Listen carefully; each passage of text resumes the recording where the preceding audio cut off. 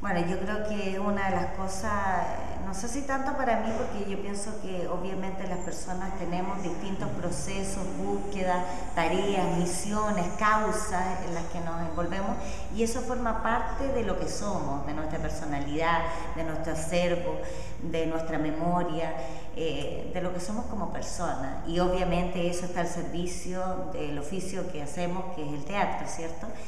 Pero sin lugar a dudas lo que tú dices es más significativo para el público.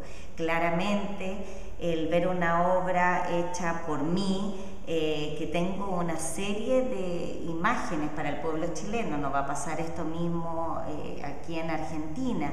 Ah, pero en Chile yo tengo cargas muy grandes. Ah, yo he hecho personajes que a la gente le han quedado como en el, como en una especie de hipotálamo rarísimo. Yo interpreté, por ejemplo, en televisión a la primera santa de Chile, ¿ah? cuando nadie me conocía. Entonces mucha gente me ve y, y me dice, no, y Sor Teresita, cuando de hecho ni siquiera era proclamada santa. Después hice un personaje en la televisión que fue muy emblemático, una teleserie de culto, donde era la mala. Ah, entonces tengo como, tengo como ángeles y demonios en mí misma.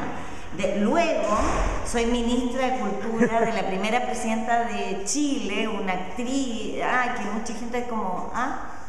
Entonces, eh, claro, luego hacer la amante fascista, imagínate la carga de toda la gente diciendo, ahora es facha, o sea, ya, ¿qué es esto? Sí, ya, la gente no lo puede creer, porque, bueno, también porque el teatro que nosotros hacemos y donde yo me he formado, he crecido, en fin, es teatro contemporáneo donde no existe personaje, ¿me entiendes? Yo no hago un personaje, interpreto de manera stanislavskiana, sino que obviamente está siempre presente la duda de ella cree lo que está diciendo, no puedo creer que diga lo que está diciendo, porque además es una obra muy cruda, muy irreverente, muy sucia, muy cruel. Y, obviamente ya, claro, lo que ocurrió ahí es que la gente yo creo que entró como en pánico. Ah, dijo, ya aquí es esto. ya no, que, no, y, claro, provocó un, ejercicio eh, como social, digamos, que es lo que todos pretendemos en el teatro. Ah, yo, no, yo creo que ningún actor hoy por hoy, en términos contemporáneos, está buscando empatizar, no sé cómo será en Argentina, pero nadie está tratando de que digan qué bien actuó a, no sé, Margarita Gautier, ah, qué buena interpretación.